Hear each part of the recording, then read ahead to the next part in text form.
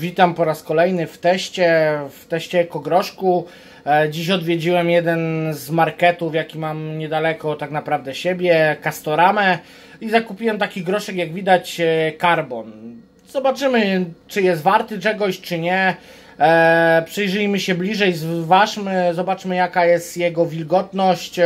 No i mówię, po, przejdziemy do samych testów e, na palniku, zobaczymy jak się spala w stosunku do tego groszku, który, którym palę na co dzień, którym już opowiadałem. E, zobaczmy co tu mamy tak naprawdę. Ekogroszek Carbon, ekogroszek kamienny, zalecany przez czołowych producentów kotłów. 20 kg woreczek, ja zapłaciłem 18 zł. E, wartość opałowa maksymalnie 26 MJ. Sprawdzimy oczywiście. Popiół max 8%, siarka 0,6% i uziarnienie między 8 a 25 mm.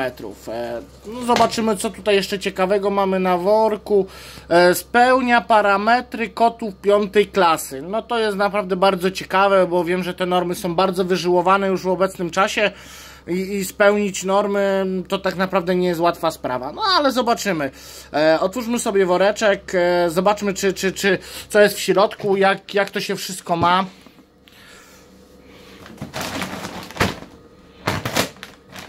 Dobra, otwórzmy, zobaczmy czy jest mokry, suchy, co tu ciekawego nam się pokaże. E, Co tu, co tu widzimy? Powiedzmy, wilgotny jest, ale jakiś bardzo mokry nie.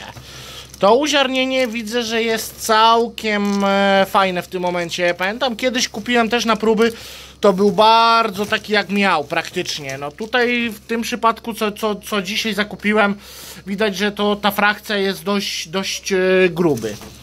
Dobra, wsypmy sobie w naszą magiczną torbę, co ostatnio, papierowa,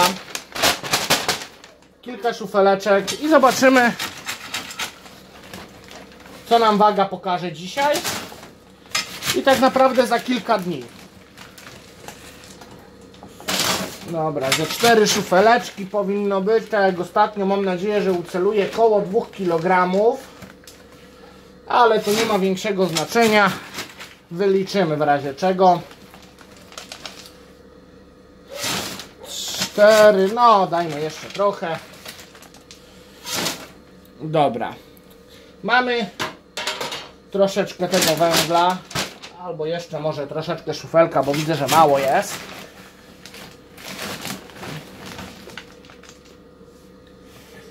O, dobra.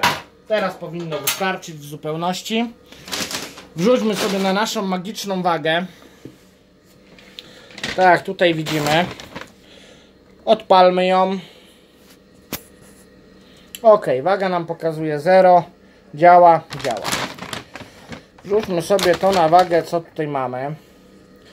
Tu mamy 2617 gram. E, odłożymy sobie to jak zwykle w takie dość ciepłe miejsce na moich magicznych rureczkach. E, I zobaczymy za kilka dni, co nam ta waga pokaże. I mówię, w międzyczasie ja oczywiście zasypę podajnik, przetestuję, zobaczę jak to się pali, e, co, co, co, czy w kociołku będzie czysto, czy brudno.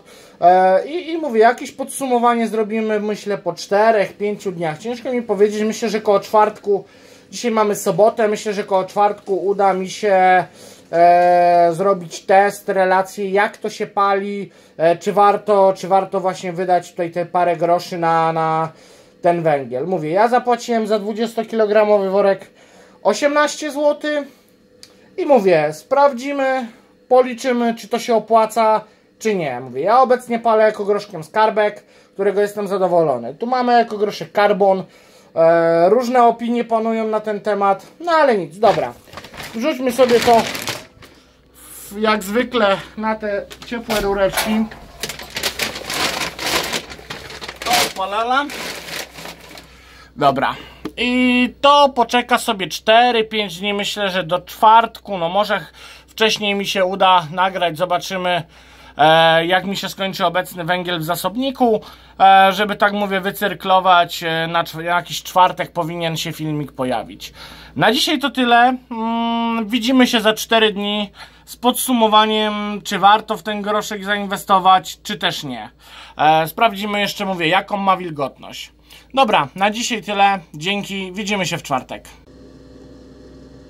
Witam po czterech, praktycznie pięciu dniach e, testów e, ekogroszka Carbon. Zaraz zważymy e, ten groszek, który wcześniej, właśnie po wcześniej 5 dni temu e, daliśmy do suszenia. Zobaczymy ile tej wilgoci w nim jest zawarte, e, ale też Wam opowiem co mnie spotkało przy tym groszku, niemiłego bardzo bym powiedział, bo e, tak naprawdę kupiłem cztery worki, trzy były jednakowe, a, a czwarty zupełnie inny, ale to zaraz przyjdziemy do tego. E, weźmy sobie na razie E, po prostu ten woreczek papierowy, zważmy ile tej wilgoci, policzmy jak to w ogóle wychodzi. No dobra, to przejdźmy sobie tutaj, jak widzimy mamy naszą torebeczkę, ją weźmiemy. Opalala, tutaj mamy, waga nasza jak zwykle ta sama, żeby nie było.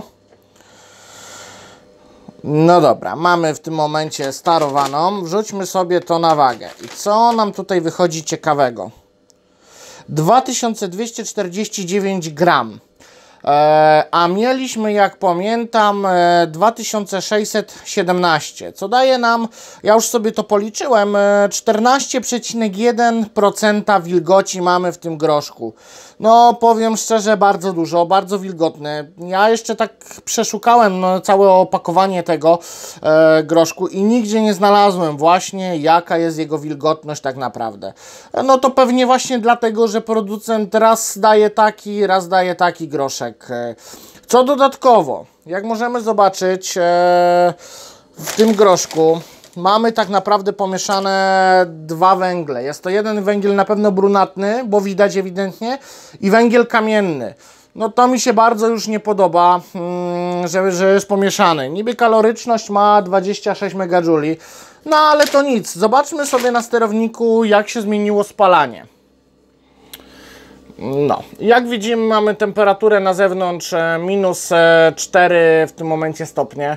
E, normalnie jako groszku skarbek, bo tym palę na co dzień, przy tej temperaturze idzie mi około 18 kg. Tu, jak możecie zobaczyć, jest to 24,6 kg. Mm, ja to sobie policzyłem i tak naprawdę policzę to na dniówki. Ile dziennie nas kosztuje e, właśnie ogrzewanie naszego domku? No to w moim przypadku e, ekogroszek skarbek kosztował mnie 18 zł 72 grosze dziennie a niestety przy ekogroszku Carbon jest to 22 zł 14 groszy. Dodać sobie do tego, że płacimy bardzo dużo za wilgoć, e, no ja tu bym powiedział, że niestety, ale raczej nieopłacalny jest ten groszek, przynajmniej w moim przypadku. Zależy jak kto woli, ale, ale tak jak mówię, no mnie się to nie opłaca, na pewno nie będę kupował tego ekogroszku, zobaczymy, na testy oczywiście jakieś inne też będę, będę kupował.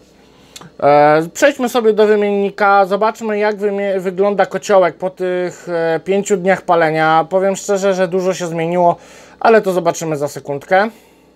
Dobra, otworzymy sobie wymiennik. Jak możemy zobaczyć, no powiedzmy jest siwo, no nie ma jakiejś tam sadzy, czyli tu w miarę to wszystko jakoś się dopala. E, wezmę sobie tutaj skrobaczkę i zobaczmy jak to, jaki, czy to jest jakieś coś, o, możemy zobaczyć, że jest to sam pyłek, czyli powiedzmy, że jest ok. Był czyszczony przed zasypaniem, no tyle się go uzbierało po tych pięciu dniach. Nie jest to dużo, ale na pewno jakaś izolacja już, już stanowi dla kociołka. Ja sobie wyczyszczę później kociołek. Przejdźmy dalej. Jak możemy zobaczyć e, nad rusztem wodnym, troszeczkę sadzę, ale to normalnie przy ruszcie wodnym bym się tym nie przejmował, bo to będzie zawsze tak się raczej działo. Jak widać, no wymiennik powiedzmy jest czysto, tak? E, podobnie bardzo do ekogroszku skarbek. Tutaj raczej bym się tego nie mógł przyczepić. Ale zajrzyjmy do samego palnika. No i tu się zaczynają tak naprawdę największe cyrki, bo jak możecie zobaczyć, spieki, potężne spieki się porobiły. Eee, ledwo to się wszystko sypuje. No, szczerze, pewnie można z tym powalczyć ustawieniami, ale ja specjalnie zostawiłem podobne ustawienia co na skarbku. Jak możecie zobaczyć, o, jeden wielki kalafior spiek. To już dyskwalifikuje tak naprawdę ten węgiel, jak dla mnie. I na pewno nie będę nim palił. O, możecie zobaczyć, jedne wielkie spieki się porobiły. E, na palniku, o, jak widać, kopczyk jest na dobrym poziomie. Tak więc tutaj, tutaj jest ok. E, przejdźmy sobie dalej i zobaczmy, e, Wam pokażę, co mnie spotkało. To jest czwarty worek, który, który otworzyłem, bo już wczoraj musiałem jeszcze dosypać, bo mówię, no brakłoby mi do dzisiaj. I zobaczmy, co tam ciekawego mamy, bo e, jak widzieliście, ten groszek był, gradacja była powiedzmy w miarę znośna. E, Poza tym, że tak jak mówiłem, no jest tam domieszany na 100% węgiel brunatny, bo tak, tak wygląda. Zobaczcie, co tu węgiel, który mówię, ostatni worek, strasznie mokry. Ja z, oczywiście zbadam jego wilgotność. Ta frakcja już nie jest ta sama. Jak mówię, co jeszcze? E, jeszcze tak pokażę na pokrótce, jak wygląda spalanie takie właśnie na, na wykresie. Dobra, wejdźmy sobie na sam wykres. Zobaczmy, jak to wygląda. Proszę. Tak jak widać, sterownik oczywiście SKZP02 radzi sobie bardzo dobrze z każdym opałem. No i tutaj, jak widać, e, mamy, mamy wzorowe, bym powiedział, e, no, te wykresy. E, Co, co, co widać, to jest średnia 38%. No ja przy ekogroszku skarbek mam około 25, 29 e, proce, e, średnia procenta mocy kotła. Tak więc no na pewno widać, że, że ta kaloryczność tego węgla jest dużo mniejsza niż samego, mówię, skarbka, no ale to raczej oczywiste, no cena, cena raczej tutaj po prostu jest adekwatna do, do jakości, tak. No 900 zł tona wychodzi jako groszku karbon. E, w przeliczeniu, no tak jak mówię, w moim przypadku się to nie opłaca. Na pewno nie będę kupował tego groszku, tym bardziej, że jest bardzo mokry, szkoda mi podajnika. Tu mamy 14% wilgoci przy ekogroszku skarbek, miałem około 7, tak więc e, dwukrotnie więcej mamy wody zawartej w tym groszku. Tak jak mówię, jest to około, powiem szczerze, 140 kg przy tonie groszku. No to bardzo dużo. Przy ekogroszku skarbek cały czas będę się odnosił do też skarbka, bo, bo według mnie jest to jeden z najlepszych groszków obecnie na rynku. Eee, po prostu tej wilgoci, tego, tego, tej wody jest około tylko 70 kg na tonie. Eee, ale tak jak mówię, tutaj niestety jest go bardzo dużo. E, mówię, jak ktoś ma ochotę, niech kupuje. Ja więcej tego groszku nie kupię. Nie sprawdza się w moim kotle. E, bardzo duże spieki. I to myślę na dzisiaj na tyle. Tak naprawdę jeszcze mam jeden groszek do testów, już kupiony, już będzie się testował.